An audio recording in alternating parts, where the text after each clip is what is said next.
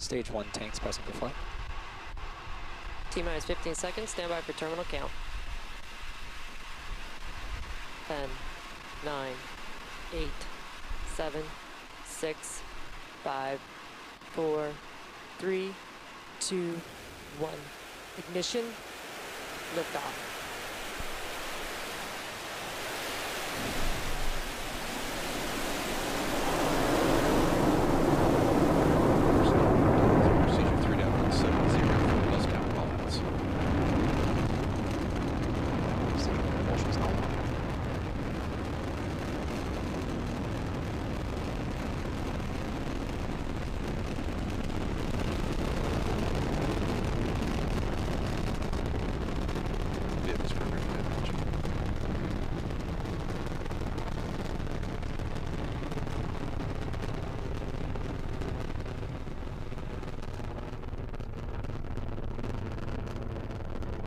Power and telemetry nominal. And you see on your screen, we have had successful liftoff of Falcon 9 carrying Zuma. We have cleared the tower, so we're now coming up on two events that is going supersonic and max Q. Now, maximum aerodynamic pressure is when we are at the point of maximum stress on the vehicle. From that point on, we're going through thinner and thinner atmosphere, so stress will continually decrease.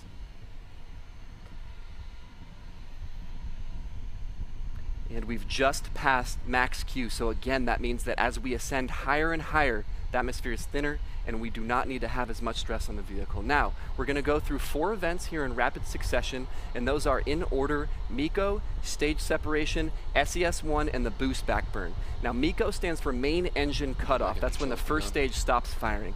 There follows stage separation when first and second stage depart from each other. SES1 is the third event that stands for second engine start. That's when second stage begins firing.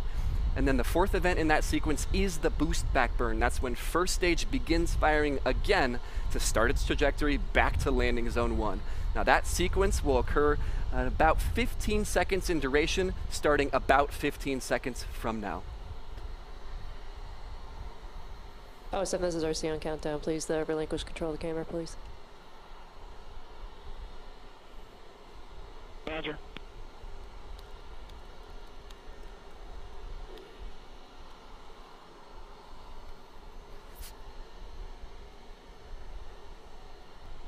States have confirmed.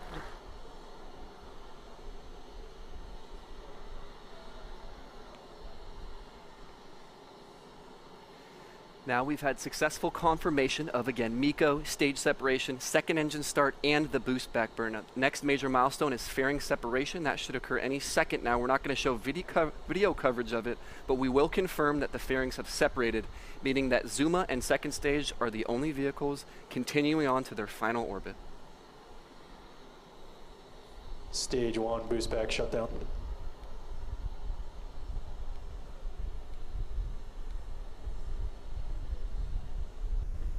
Stage one, entry burn has started.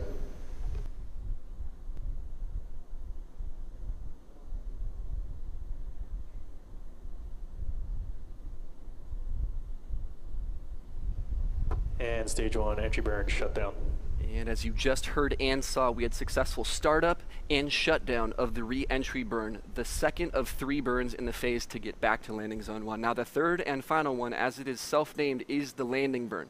This one lasts a little bit longer. It's about 17 seconds in duration. It's coming up in about 30 seconds.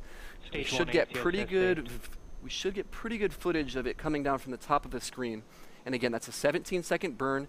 So the legs deploy and we touch down on the surface of landing zone one here in this attempt. Stage one is transonic.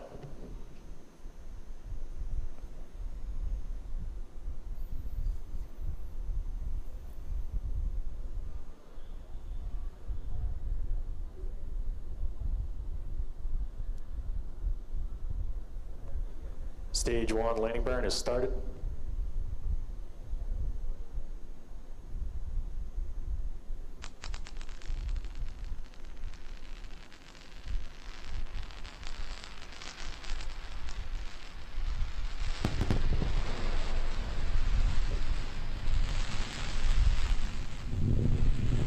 Landing legs have deployed.